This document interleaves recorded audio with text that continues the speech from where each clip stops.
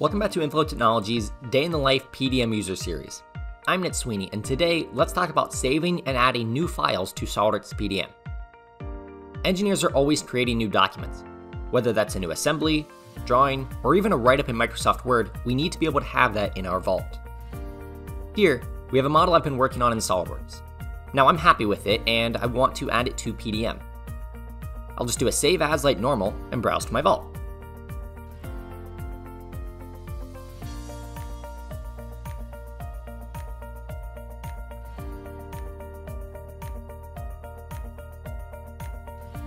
Once I find my folder, I'll check this include all references components box.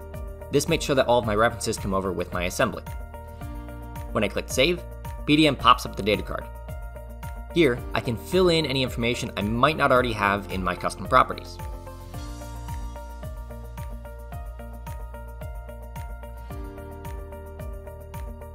Now notice that it's going to do this for every component.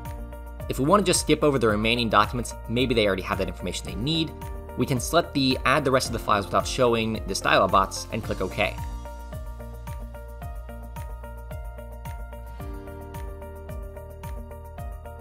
When I go back into Windows Explorer and refresh, you'll notice that every file I had open is now saved in PDM. But what if I have a file already saved and I just want to move it over?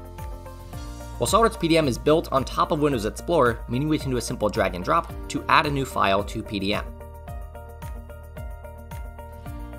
Now this is only half the battle though. See here that it says that the files are checked out by admin? This will say whatever your username is, and it indicates that the files are still local. We want to change that, so I'll select all of the files in my folder, and I'll click check in. I have to enter in a comment stating what I'm doing, and then I'll click check in.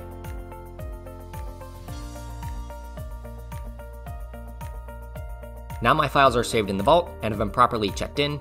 I can now view my files, share them, and do whatever I need to.